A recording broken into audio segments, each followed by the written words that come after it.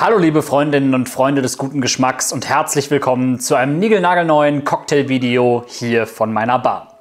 Heute gibt's was ganz Besonderes, denn wir mixen den Queen of the Forest Cocktail mit dem Himbeergeist von Sutera.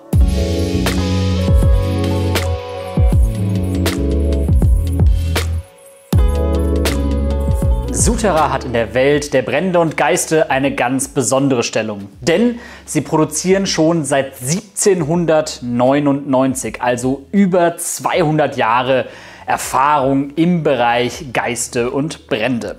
Nun hat die Firma Bimmerle die Marke neu aufgelegt, in ein frisches Gewand gesteckt und einen hocharomatischen Himbeergeist in die Flasche gebracht. Und mit diesem Himbeergeist mixen wir nun den Queen of the Forest Cocktail. Dafür benötigen wir neben unserem Himbeergeist auch noch Ahornsirup, frische Himbeeren und frische Zitrone, außerdem etwas Cranberry Bitter, etwas Bourbon Vanilleextrakt und für einen schönen Schaum etwas Aquafaba, also Kichererbsenwasser. Für die Zubereitung benötigt ihr zunächst ein Shakerglas und dort gebt ihr fünf frische Himbeeren hinzu. Diese werden mit einem Stößel zerkleinert und dann kommt Eis dazu. Auf das Eis kommen 40 Milliliter unseres Himbeergeistes, 20 Milliliter Ahornsirup,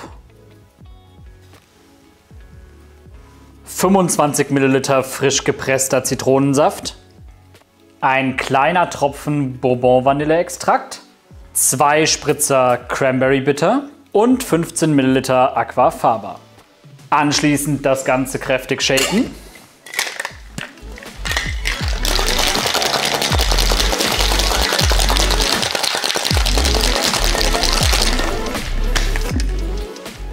Und über ein Cocktailsieb in eine Cocktailschale abseihen. Mit etwas Schleierkraut garnieren.